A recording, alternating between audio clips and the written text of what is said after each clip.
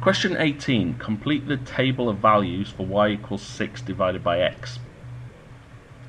Uh, so it should be quite simple. Just substitute x from the table into the equation. So 6 divided by 0.5.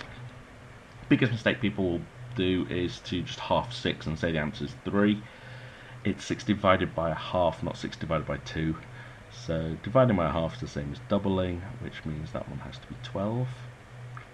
6 divided by 3 is 2. 6 divided by 5 is 1.2. If you don't know that, you always have your calculator to hand.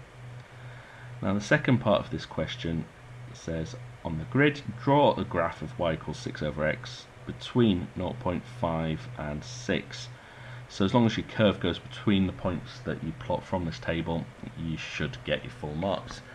Remember to be accurate, every square on here is equal to 0.2 on both axes. So just plot your points as close as you can get it to the points on the table. So 0.5 across and 12 up, 1 across, 6 up, 2 across, 3 up, 3 across and 2 up. Oops. I'm supposed to be 2 across and 3 up. I was getting ahead of myself. 3 across and 2 up. 4 across is 1.5. 5 is 1.2. 6 is 1.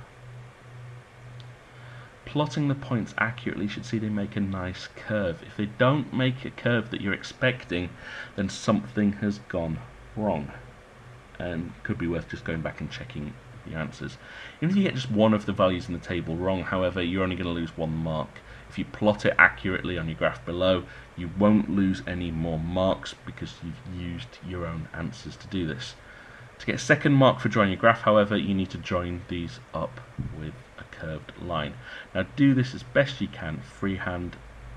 Being in fact, I'm doing this on the computer, I'm going to cheat slightly because my freehand lines are awful. As long as your curve goes through all the points, then you'll get your second mark